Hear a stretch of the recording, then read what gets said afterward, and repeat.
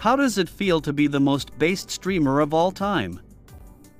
I feel great. Thanks for asking. Are you based too? Do you have any tips for Annie's Elden Ring gameplay? Being an Elden Ring player myself, I can definitely give you a few tips. Firstly, you should try to not die. Secondly, you should. Oh, wait, that's the only tip I have. Oops. Hey FBI, thanks for the sub. Wink. You know what my favorite thing is? Cats. And eating them whole while they're still warm and fresh from the oven. Yum yum yum am yes I am delicious.